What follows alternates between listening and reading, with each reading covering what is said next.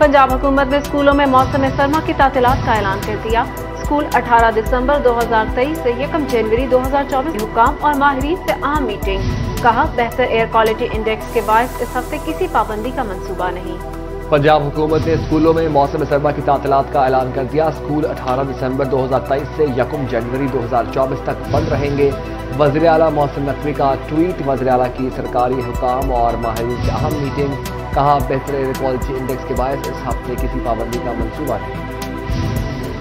स्कूलों में मौसम सरमा की तातीलात का ऐलान कर दिया।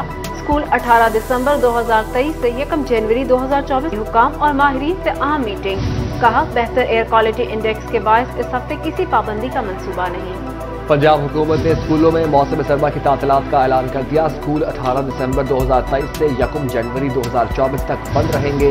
वजी अला मौसम नकवी का ट्वीट वजी अला की सरकारी हुकाम और माहरीन से अहम मीटिंग, कहा, बेहतर एयर क्वालिटी इंडेक्स के बायस इस हफ़्ते किसी पाबंदी का मनसूबा नहीं।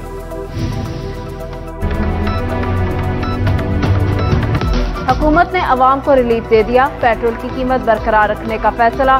डीजल की कीमत में सात रुपए फ़ी लीटर कमी। मट्टी का तेल तीन रुपए बयासी पैसे सस्ता। लाइट डीजल की कीमत चार रुपए बावन पैसे कम हो गई। निगरान वज़ीर आज़म ने मंजूरी दे दी। इतलाक हो गया